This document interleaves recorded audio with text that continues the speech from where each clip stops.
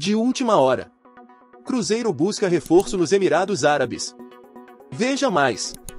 Fala torcedor do Cruzeiro. Se inscreva no canal para não perder nada do que acontece com o Cabuloso com exclusividade. O Cruzeiro está em busca de reforços para o setor ofensivo e um dos nomes que surgiram como opção é o atacante João Pedro. O jogador está atualmente no Alvada, dos Emirados Árabes.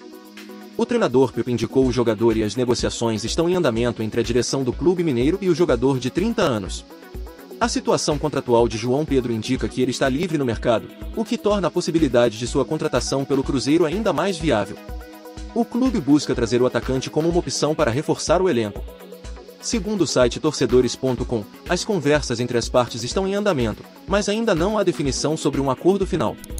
O Cruzeiro demonstra interesse em contar com João Pedro e está buscando acertar os detalhes para concretizar sua contratação. João Pedro começou sua carreira no interior de São Paulo, quando passou pela base do Ferroviário.